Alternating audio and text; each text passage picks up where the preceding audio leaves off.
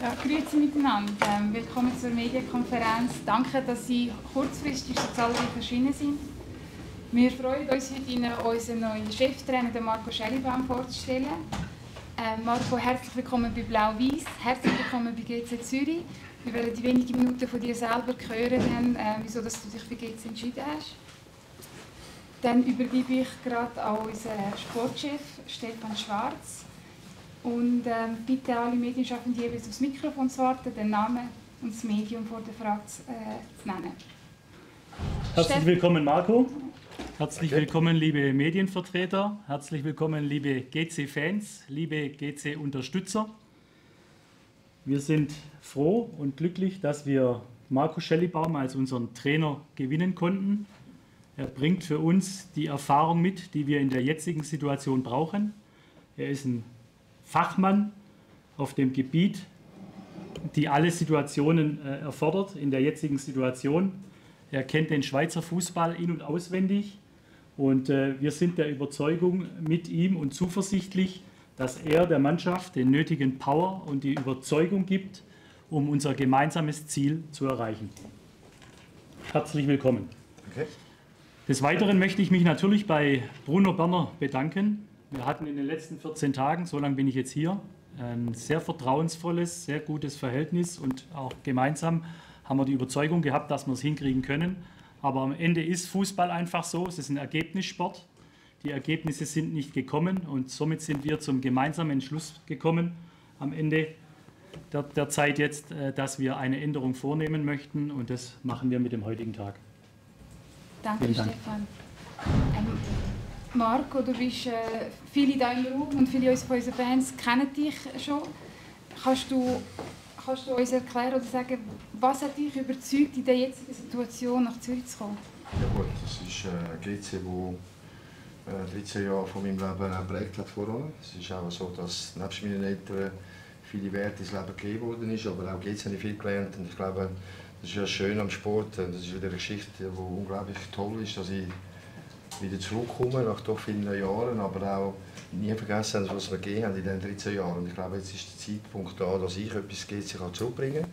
Das war die grösste Motivation, dass wir der Liga halt schaffen und auch stolz, muss ich ehrlich sagen. Es ist ein ganz, äh, ganz tolles Gefühl, dass ich da darf, äh, Cheftrainer sein bei GC will. Es ist doch auch äh, lang in meinem Leben GC im Herzen gewesen und auch immer noch immer im Herzen. Und darum es ist für mich sehr äh, spezielle Situation, aber ich bin, wie gesagt, sehr stolz und auch sehr, sehr motiviert.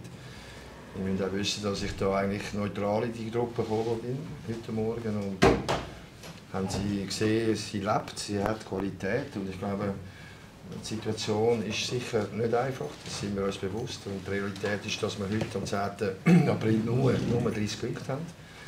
7 und 6 äh, Rückstand auf die anderen zwei Foren. Und, aber ich glaube, mit dem, was ich der Mannschaft kann bringen kann, mit dem, dass es dann mitzieht, werden wir sicher, das kann ich euch versprechen, mit Herz spielen.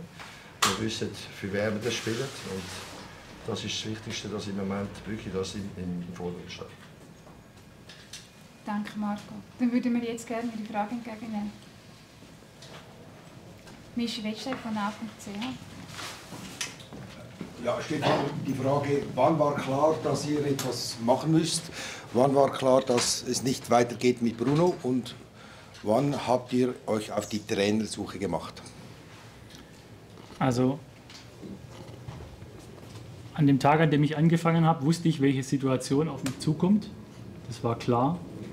Wir haben versucht, äh, mit Bruno Berner die Ergebnisse und die Art und Weise, wie wir spielen, in eine andere Richtung zu lenken. Leider ist uns das nicht gelungen. Und sage ich mal, direkt nach dem ersten Spiel habe ich mir schon Gedanken gemacht, wie kann was weitergehen, wenn wir den Turnaround nicht schaffen, wenn wir keine Änderungen in den Ergebnissen bekommen. Schlussendlich war natürlich am Sonntag auch mit roter Karte und äh, Toren, die komisch äh, fielen, ähm, war klar, dass wir so nicht weitermachen können. Und im Endeffekt war dann relativ schnell uns allen gemeinsam klar, dass wir spätestens nach dem Sonntag, nach dem verlorenen Spiel in Yverdon, die Reißleine ziehen müssen und eine Änderung äh, machen müssen. Und wie wurde der Kontakt aufgenommen mit Marco? Mit dem Telefon. Ah, mit dem Telefon. Ja, natürlich habe hab ich mir Gedanken gemacht oder wir uns Gedanken gemacht, äh, welche Trainerkandidaten denn in Frage kommen. Wir haben uns ein Anforderungsprofil äh, aus, ausgearbeitet, haben dann eine Shortlist gehabt und am Ende war es für uns klar oder überzeugend, mit Marco, wie ich es vorher schon gesagt habe, so einen Fachmann zu bekommen, der dies alles schon erlebt hat, der den GC kennt. Es hilft, glaube ich, immer, wenn man einen Verein kennt, wenn man, wie er gesagt hat, hoch motiviert ist, dem Verein auch was zurückzugeben zu wollen. Das war auch in unserem ersten Gespräch schon die Motivation und ich muss fast sagen, ich hatte Gänsehaut. Und wenn man jetzt diese Überzeugung übertragen kann auf die Mannschaft, dann freue ich mich auf die nächsten Wochen, Spiele, jeden Tag in der gemeinsamen Zusammenarbeit. Dann muss ich noch die Anschlussfrage stellen, wie lange gilt der Vertrag? Mit Klassenerhalt plus zwei oder plus fünf? Wir geben keine Auskünfte über Vertragsinhalte. Der Frage Marco, wie zählt es mit Jetzt bist du, sorry, kannst du Sorry, wegen Mikrofon bitte. Ist schon spät. Marco. Ich denke genau gleich und sage das Gleiche wie der Stefan. Ein Geheimnis. Wie? Ein Geheimnis.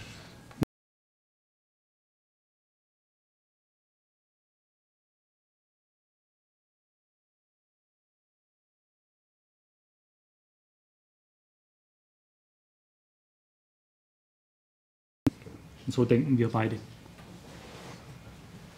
Danke, wichtige Frage. Da vorne bitte. Ja, Hauke Kisten, SDA. Eine Frage an Stefan Schwarz. Ähm, ihr musstet ja auch mit Iverno sprechen, damit ihr Marco verpflichten konnten. Wie ist da der Kontakt abgelaufen? Zu Inhalten, wie wir mit Iverdor äh, die Kommunikation gepflegt haben, machen wir natürlich keine Auskünfte. Es war sicherlich nicht ganz einfach, aber am Ende haben wir eine gemeinsame Lösung hinbekommen und ist in allem Sinne äh, vernünftig gelaufen, sonst wäre Marco heute nicht hier. Von dem her gilt allen Beteiligten der Dank, dass es am Ende zu diesem Schritt so kam, wie wir jetzt hier beieinander sind.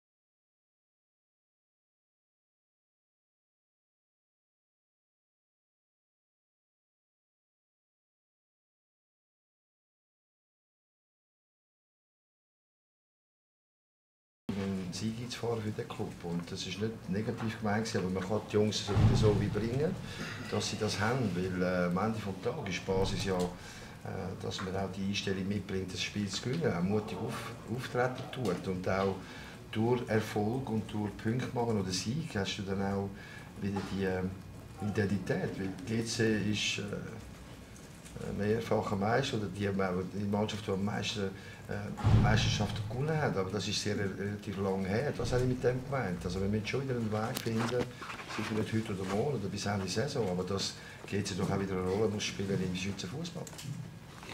Hast du dann nicht gezögert, wo die Anfrage gekommen ist? Weil du vielleicht Respekt hast, jetzt von GC die Anfrage gekommen hast, du dann nicht gezögert, oder hast du vielleicht Respekt von dieser Aufgabe? Weil ganz so einfach ist es ja nicht. Also Respekt, äh, das ist so, ja, weil die Aufgabe ist sehr, sehr schwierig, das sind wir uns bewusst. Aber ich glaube, wenn man äh, mutig ist oder auch äh, gewisse, ich will nicht sagen Abenteuer, aber gewisse Challenges die wahrnehmen, das ist auch das Leben. Also wir müssen mutig sein und ich muss auch mutig sein und ich muss vorausgehen. Ich habe es vorhin gesagt, ich komme relativ neutral in die Mannschaft, habe sie aber sehr offen und gut auf dem Platz gesehen. Aber ich glaube, der Weg ist da, weil wenn ich Angst hätte, dann äh, das ist kein guter Begleiter im Leben. Und wenn du mich fragst, ich hätte, äh, wie viele Sekunden habe ich gebraucht, um Ja zu sagen, nicht viel, weil ich habe es vorhin schon angesprochen, GC, auch wenn ich in anderen Vereinen war voran, aber die Jugend äh, prägt dich im Leben und das habe ich vorhin eben gesagt, dass das GC unglaublich gut gemacht hat mit mir. Die Werte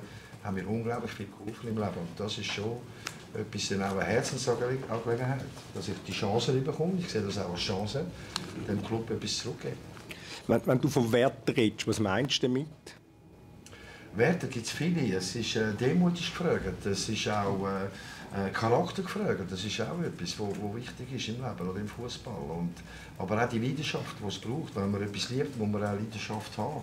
Und das vermitteln. Wenn wenn wir das nicht haben, dann wird es einfach schwierig. Weil wir reden von technisch, taktisch, wir werden parat sein am Samstag. Aber wenn du ähm, nicht die Leidenschaft hast, ein Spiel zu gewinnen, dann wird es einfach schwierig. Und das ist mein Job jetzt, äh, dass wir das wieder haben und dass, dass das mit Punkten belohnt wird. Wir sind äh, in der letzten Zeit auch nicht so belohnt worden vom Glück, aber man kann gewisses Glück eben auch erzwingen.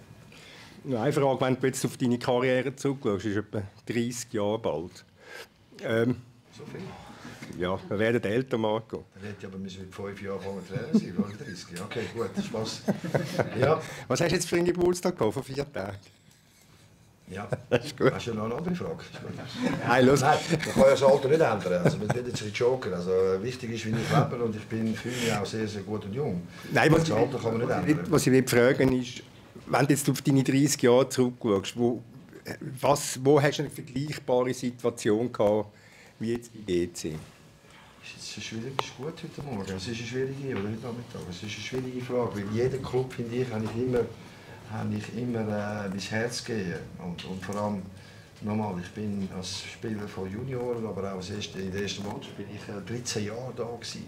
Also nicht hier im Campus, sondern so das Hartum, wo dazu mal dort war. Also, es hat jede Station äh, hat mir etwas gegeben im Leben jede Station, ob das Liebe war oder wo auch immer, äh, es hat mir immer etwas gebracht im Leben. Aber das, was ich vorhin gesagt habe, die Geschichte, ist doch eine schöne Geschichte, dass ich zurückkomme und mir, die, mir das Vertrauen gibt, äh, geben wird, dass ich diese Mannschaft oben kann kann.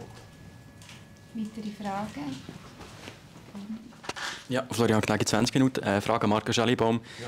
Ähm, mit dem FC Basel und Iverdo sind zwei Teams in einer ähnlichen Tabellenregion, sage ich mal, wo ihr einen speziellen Bezug habt mit Basel und jetzt auch Iverdo, oder erst in dieser Saison waren. Ähm, wer seht ihr so als Hauptkonkurrenz jetzt im Kampf um den Barrageplatz? Im Moment sind es ein viele Konkurrenten. Äh, wir sind in einer sicher einer schwierigen Situation, mhm. punktemäßig und auch moralisch natürlich. Und ich glaube, wenn man alles gibt und immer ein bisschen verliert, dann, dann, dann wird es einfach nicht so einfach. Aber ich kann mich jetzt auch nicht messen und ich will mich auch nicht äh, mit Basel oder Liverdon. Sie haben auch ihre Probleme und sie werden sie auch müssen meistern. Aber wichtig ist, dass wir äh, dann auch so weit sind, dass wir das können, äh, ähm, konfrontieren dass wir bereit sind gegen die Mannschaften, weil es sind wirklich alle zwölf gute Mannschaften. Also ein Spiel zu gewinnen in der Super ist nicht einfach. Mhm. Aber ich glaube, das ist Basel und, und ist das Problem, wie sie Punkte machen. Ich glaube, ich muss mich fokussieren, wie wir bei GC Punkte machen. Und wer Favorit oder wer besser ist, das, äh, das möchte ich nicht sagen, weil äh, das muss ja dann auch eine Stärke sein von uns. Mhm. Jetzt, wenn man von GC äh, angeschaut hat, die letzten Spiele, oder wenn man GC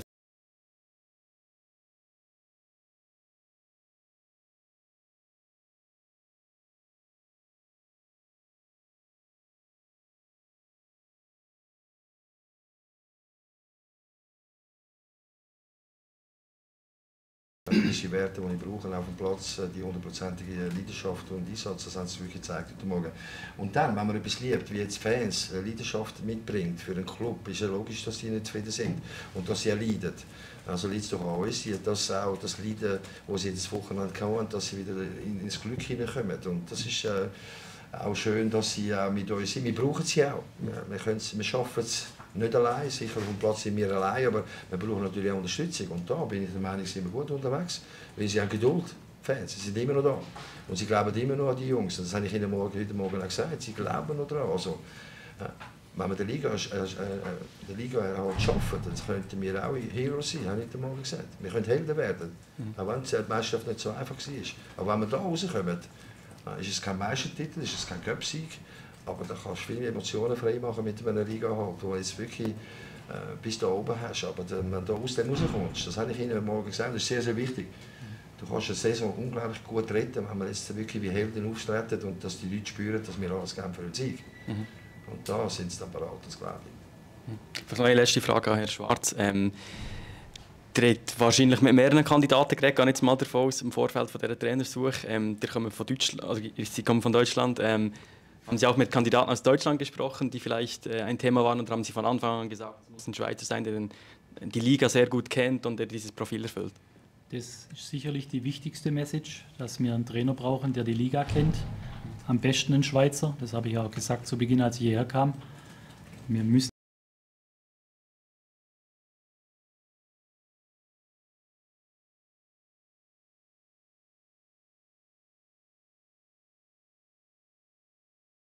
gesagt, er hat es selber in der Jugend erlebt. Ich habe es von außerhalb immer erlebt und das hat man gesehen und das muss alles wieder zurück. Danke. Ja, vielleicht, Raphael, du hast noch eine Frage? Nein, ich habe die Frage. Alles klar, dann bitte ich. Ja, Marco, du redest von Leidenschaft und Feuer. Jetzt nimmt mich Wunder, wie willst du das wieder rauskitzeln? Das Feuer? Ja. Ja, dass ich das zum einen vorlebe, dass ich das äh, so wahrnehme oder Wort überbringen auf dem Platz, dass es dann auch äh, das Feuer machen ist das eine, aber entfachen und dann auch etwas machen, das ist wieder eine andere Geschichte. Also, aber nochmal, ich habe sie heute Morgen unglaublich gut gesehen, voller Energie und sie sind auch äh, bereit zum Leiden und die Wiedergutmachung oder in Anführungszeichen in der Situation, wo sie sind, sie wollen rauskommen, sie wollen, sie wollen dem Club das geben, was sie verdienen. Verdient der Club und das ist schon noch eine gute Basis. Ja, Leidenschaft habe ich immer. Du kannst mich auch ein bisschen besser mischen. Also ich bin einer, der eigentlich privat ruhig und ausgeglichen bin und wenn ich auf dem Platz bin, bin ich halt emotional. Aber wenn man etwas liebt, bin ich der Meinung, muss man es auch zeigen. Und äh, wenn du die Leidenschaft mitbringst, dann kannst du auch vieles gut machen. Gehst du davon aus, dass ihr in Barrage spielt Das sind alles so Zukunftssachen, die mich im Moment wirklich interessieren. Weil es bleiben noch sieben Spiele. Also noch zwei in der Regular Season, also gegen Lugano und Servet ist auch, als vorhin schon gesagt, sehr schwieriges Spiel zu gewinnen, aber dann geht Lugano und Servet. Aber äh, wenn wir ins Spiel gehen und meinen, wir haben keine Chance, dann, dann du nie ein Spiel gewinnen. Also wir werden unsere Chancen packen. Wir müssen auch Punkte machen. Wir müssen auch mutig sein. Ich bin nicht der Trainer, der hinten steht mit, mit 10 oder 11 Leuten und denkt, okay, vielleicht können wir 1-0 oder 0-0. Also ich bin eher der, der nach vorne geht.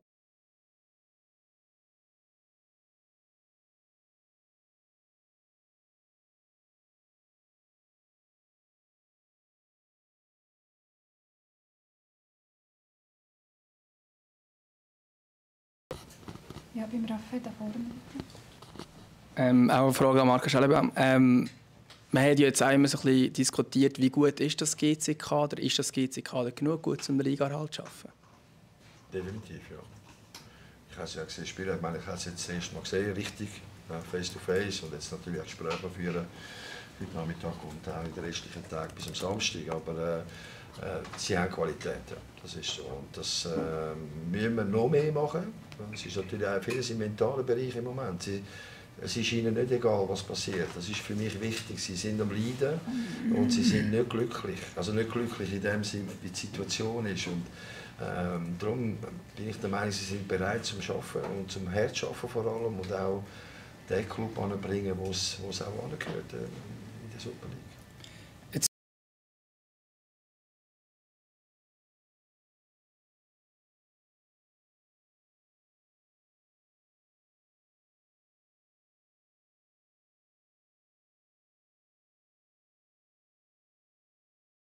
Ähm, aber man muss auch die Situation abschätzen, wie wir im Moment da sind oder wo wir jetzt sind. Aber normal, ich bin einer, der wo, wo gerne nach vorne geht, äh, aber auch intelligent nach vorne. Aber äh, ich meine, die Überzeugung müssen wir haben, weil ähm, heute Morgen schon gesagt, man braucht Spieler, die vorne ein Goal machen und das Spiel können entscheiden können. Aber auch einen Verteidiger, der einen Big Save macht oder einen Goalie, der einen Big Save, wo man das Glück dann vielleicht wieder überbringen. Und ich glaube, wenn man ehrlich schafft und auch das Zusammenschaffen lernt, zu machen auf dem Platz, dann kann man ein gewisses Glück wieder erzwingen. Und Carlo? Carlo Frezza vom Blick. Mit ähm, Abraschi und dem Schürpf, zwei Führungsspieler, haben Sie da schon Kontakt gehabt und das Gespräch mit Ihnen? Und wenn ja, was haben Sie über das Team, über das Innenleben vom Team erzählt? Ja, es war natürlich sehr wild heute Morgen, was äh, Stress betrifft. Viele Leute kennenlernen. Die Spieler haben einen, den sie mich kennenlernen, Coach. Und ich habe irgendwie 35, 40, 50 Leute, neue Leute. In Anführungszeichen. Es ist natürlich schon nicht so einfach der erste Tag. Jetzt haben wir euch da und äh, kann nicht essen. Tut mir leid, ich habe Hunger, aber ich bin da, ist kein Problem. Nein, aber äh, äh, klar, Amir ist wichtig. Er ist auch ein Captain von der Mannschaft, hat auch äh, gutes oder starkes Wort in der Mannschaft. Pascal, den ich kenne, der auch ein bisschen erfahren ist. Ähm, ich werde ich werd die ich muss sie auch, ich will sie auch machen, aber ich glaube, ich muss mir eins Zeit geben. Heute Nachmittag kann ich das machen, weil wir zwei Gruppen sind, wo ein bisschen äh, gewisser Smalltalk da ist, aber ähm, intensiv werde ich sicher drei, vier Spieler mit mir nehmen, wo wir dann wirklich äh, intensiver reden können. Und dass sie das auch dann überbringen in die Mannschaft. Aber ich kann, die Zeit ist halt relativ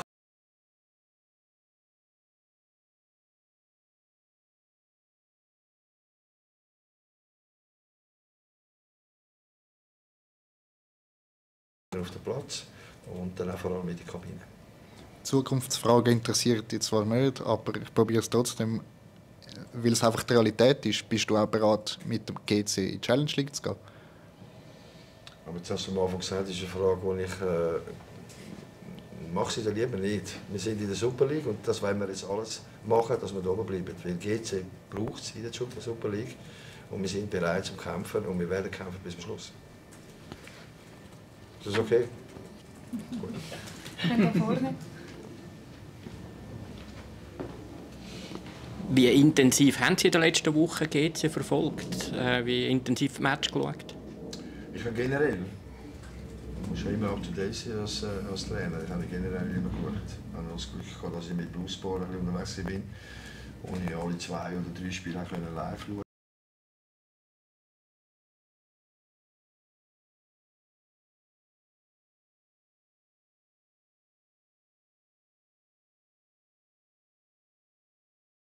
gute Mischung, was Taktische betrifft, aber auch Spielerauswahl. Aber da habe ich jetzt noch viel Zeit, äh, nicht mehr viel, aber doch Donnerstag, Freitag noch. Und bis am Samstag werden wir dann, dann etwas äh, kreieren und auch etwas präsentieren. Und jetzt ist ja bei Iverdan die Erfahrung mit amerikanischen Besitzern nicht die allerbeste gewesen. Ähm, jetzt wieder ein Club mit amerikanischen Besitzern. Ist das irgendwie etwas gewesen, wo in die Überlegungen eingeflossen ist? Also man kann nicht alle Amerikaner gleich stellen. Also es gibt auch verschiedene Schweizer, sage ich mal. Also es sind zwei verschiedene Paar Schuhe. Ähm, ja, sie sind... Äh, ich habe sie nicht gesehen, also der Präsident kommt ja am, am, am Freitag. Äh, ja, da werden auch Gespräche geführt. Ich glaube, wichtig ist, dass ich den Vertrag gefunden habe, wirklich sehr, sehr schnell mit dem, mit dem Stefan und mit dem Harald. Da haben wir eine unglaubliche schnelle Basis gehabt, wo wir uns unglaublich gut verstanden haben. Und das andere äh, musst einfach einen guten Job machen. Wenn, äh, ob du Engländer bist oder Amerikaner, wenn du einen guten Job machst, glaube ich, sagt jeder, du hast einen guten Job gemacht. Also liegt an mir, äh, die Resultate zu bringen, die sie sich auch erhoffen. Danke. Ja, Michi? Michi, könntest du bitte das Mikrofon nehmen? Ja, Marco, ich habe noch eine Frage. Tauscht man sich da mit dem Vorgänger aus? Lütst du vielleicht Bruno mal an oder sagst du einfach, nein, äh, ich mache jetzt meinen Weg und es interessiert mich nicht, was vorher war? Ja, da gibt es verschiedene Wege. Aber ich glaube, nochmal, ich bin aktuell und ich weiß, äh, was für Spieler auf dem Platz sind in den letzten Spielen. Und ich glaube aber, es ist auch wichtig, dass ich mein eigenes Bild mache. Es gibt genug Leute, die mir gewisse Informationen geben, aber am Ende des Tages muss ich das sehen auf dem Platz, muss ich gewisse Informationen nehmen und schauen, wieso und warum meint er das so. Ähm, ich habe es immer so gemacht, dass es äh, äh mein, mein Job ist, äh, die Leute oder die Spieler so kennenzulernen, wo ihre Schwächen sind oder besser gesagt die Stärken. Ja. Fernandes Tele Zürich. Oh, sorry. Haben wir schon wegen den Investoren wegen der Neuen. Hast du mit denen schon Kontakt gehabt? Gibt es da schon irgendeine Stellungnahme, etwas, was sie dazu sagen zu dem Trainerwechsel? Ich habe es nicht verstanden, Entschuldigung bitte. Die neuen Investoren, gibt's da schon, gibt es da schon einen Kommentar? Etwas, die, was Sie dazu sagen zum neuen Trainerwechsel? Nee, ich habe ja vorher gesagt, es ist äh, einstimmig haben wir das äh, entschieden, dass Marco Schellibaum der neue Trainer ist. Und von dem her ist das eine Linie. Und Austausch, wie war der Austausch? Hast du schon mit ihnen geredet? Nein. Ich bin der Sportchef hier und äh, das wird über meinen Weg gehen. Ich kommuniziere mit den Leuten, ich, wir besprechen uns und am Ende werde ich trotzdem die Entscheidungen hier treffen. Aber immer gemeinsam. Weitere Fragen? Gut, wenn keine weitere Fragen sind, dann bedanke ich mich herzlich fürs Kommen.